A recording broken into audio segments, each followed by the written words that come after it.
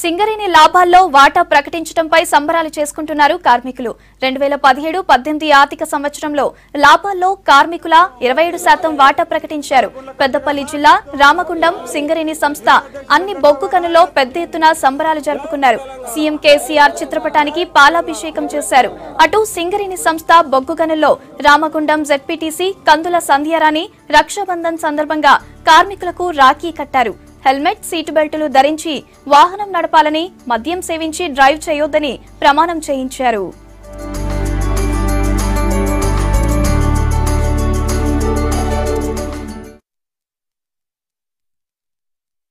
తెలంగాణ వచ్చినాక నిజంగా దేశంలో ఎక్కడ కూడా లాభాల వాటా ఇచ్చేటువంటి స్కీమ్ లేదు. మన తెలంగాణలోనే గతంలో పదిహేను శాతం ఉన్నటువంటి లాభాల వాటని ఇవాళ ఇరవై ఏడు శాతంకి పెంచినందుకు మీ అందరి తరఫున కేసీఆర్ గారికి ధన్యవాదాలు తెలియజేస్తా ఉన్నాను. మనకు తెలంగాణ ప్రభుత్వం వచ్చినాక దాదాపుగా లాభాల వాటా ఈ సంవత్సరం పోయిన సంవత్సరం ఇరవై ఐదు శాతం ఉన్నది.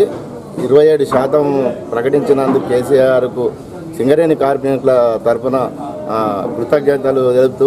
గతంలో ఎన్నెలు లేని విధంగా పది శాతం ఉన్న లాభాల వాటను ఇరవై ఐదు శాతం వరకు తీసుకొచ్చిన ఘనత ఇలా తెలంగాణ ముఖ్యమంత్రి చంద్రశేఖరరావు గారికి దక్కుతుంది. ఇరవై శాతం నుంచి ఇలా రెండు శాతం ఏకదాటిగా పెంచి ఇలా కార్మికులందరికీ సింగరేణి వ్యాప్తంగా శుభవార్త చెప్పిన కేసీఆర్ గారికి ఎల్లప్పుడూ రుణపడి ఉంటామని తెలియజేస్తూ తెలంగాణ కార్మికులందరికీ ఇరవై ఏడు శాతం ఏడు శాతం ఈ లాభాల వాటా పెంచినందుకు తెలంగాణ ప్రభుత్వానికి ఆవంతులు